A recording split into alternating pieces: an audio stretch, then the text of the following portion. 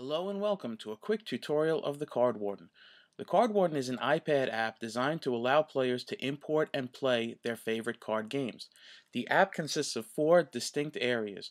The Card Importer, where individual card images can be captured into the app. The Deck Editor, where those card images can then be arranged into decks the randomizer, which is designed as a companion for physical card games that require a unique setup for each play, and finally the game table, which has all the card mechanics necessary to play a game. First, let's start with the card importer. The card importer allows us to import cards from existing card images on the iPad or from the built-in camera depending on the generation of iPad you're using.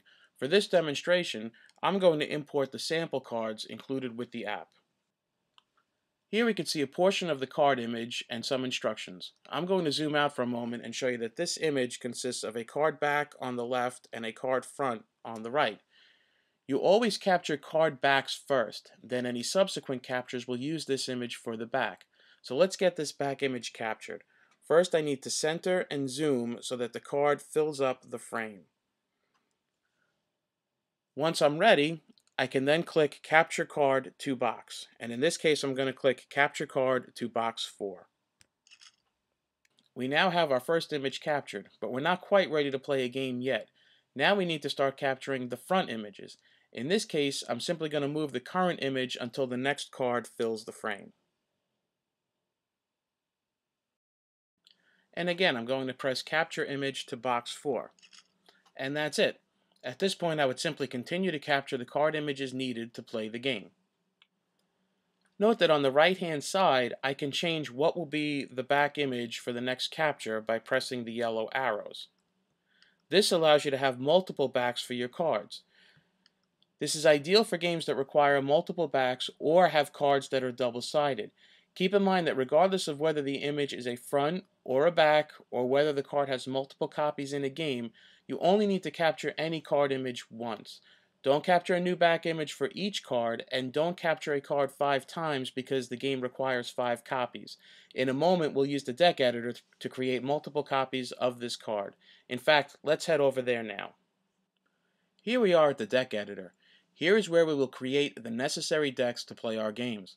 In this case, you can see the images we just scanned are located on the bottom of the screen. I can simply tap the images below to add them to the deck. In this case, I'm going to add five copies of our Warden Fighter to this deck.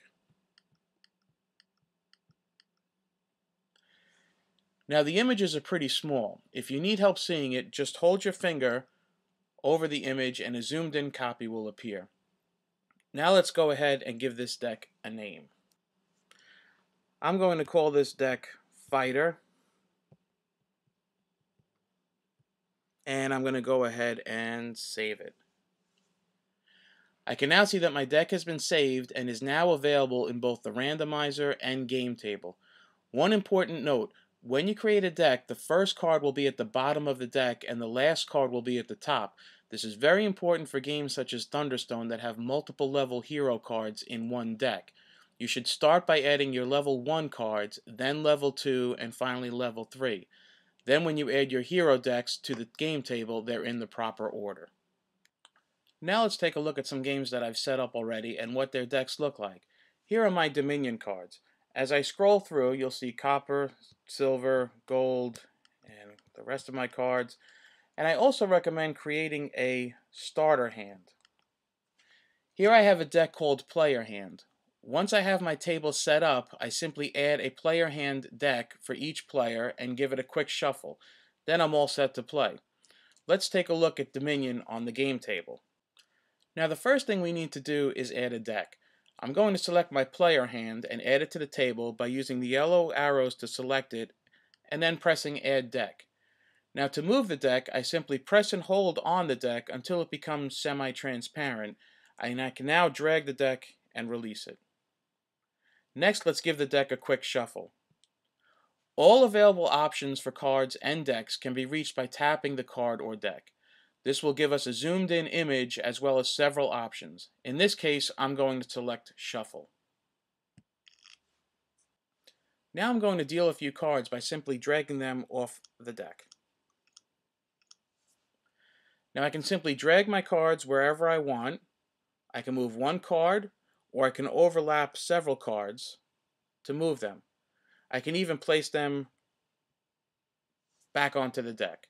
Now let's take a look at some of the available deck options. Flip will flip over the entire deck. The top card is now on the bottom, and the cards will change from face up to face down, or vice versa. I can also select top to bottom. This will move a, the single topmost card to the bottom of the deck. We already did a shuffle. We also have destroy, which will completely remove a deck or card from the session. And finally rotate, which will rotate the deck by 90 degrees. Now let's take a look at some of the card options.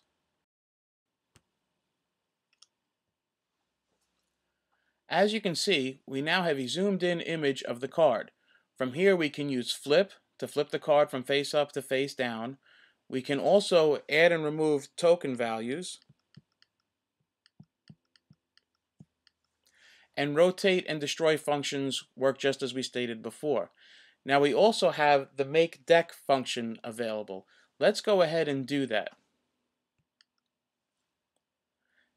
Now you can see that we have a deck of one card. The significance of this is that now any additional cards that are placed on this one will be added to that deck like so. This is perfect for creating discard piles. Another feature are the trays. There are six trays total. These can be used for additional off-screen storage. Simply touching the edge of a screen will activate and dismiss trays. Let's go ahead and add a few cards to this tray. And then we'll put them off to the side. Now when we need those cards, we simply activate the tray and then they're all right there available for use. Now let's load up a game I've already set up and see how it would play.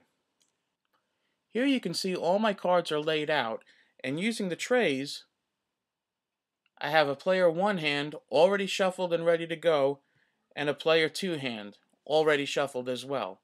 I recommend that once you have a table set up for a new game, use one of the save slots for this setup. This way you can quickly start a new game, assuming you're using the same game setup and you're ready to go. Now let's go ahead and deal a few cards. I'm going to switch back to player 1's hand, and I'm going to deal myself 5 cards. But before I do that, I'm going to tell the card warden that I want the cards dealt face up. That's the yellow button at the top of the screen. So I'm going to go ahead and give myself one, two, three, four, five cards. So I have three coppers showing. So for my three copper, I'm going to buy myself a village card. Now the first thing I want to do is I want to take that village card and I'm going to make it into a deck. Again, it's a deck of one card, but that allows me to drag the rest of my cards into my discard pile. Now I can deal myself another five cards. I can also switch over to player two, and they can have a turn with their deck. But to keep up with the demonstration, I'm going to go back to my player one hand, and I'm going to continue playing this hand. So I'm going to go one, two, three, four, five cards. So now I have four coppers showing, and for my four coppers, I'm going to grab a Smithy card, and again, I'm going to drag my cards into my discard pile. Now I'm going to flip my deck over, and I'm going to move it back to my starting position. You could Yours could be wherever you prefer. And I'm going to give my deck a quick shuffle. Now I am ready to continue playing.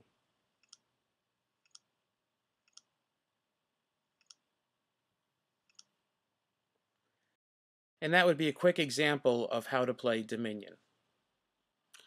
I just wanted to quickly show you, uh, I loaded up a box of Thunderstone cards and I'll show you that I can quickly get my default setup loaded quickly and I'm ready to sit down and play a game of Thunderstone. So I went back and loaded up my Lord of the Rings cards and I'm going to show you how quickly I can get into my introductory scenario which is the passage through Mirkwood. As I said earlier, I have the multiple backs set up for my decks, uh, as well as with my quest cards, you can see that I have side 1B is currently showing. Now, if I flip that card and I zoom in, you'll notice that the other side is 1A. So this is actually a double-sided card um, being used in the game. Now let's load up a game that's already in progress. And you'll notice a couple of other things going on here. For example, we have shadow cards. Um, we also have the quest. I'm using the white token for progress. And unfortunately, you'll see a red token on this one, which indicates damage. So uh, we have that. I would also use the white tokens here for resources. And keep in mind that on the game table, there are two score tallies on the bottom, which can be ideal for keeping track of threat as you're playing the game. So there you have it. Uh, that's a quick rundown of the Card Warden and what it can do. I hope some of you found this helpful. I look forward to any information, any feedback is greatly appreciated as I plan to update the app uh, regularly. Um, and thanks for watching.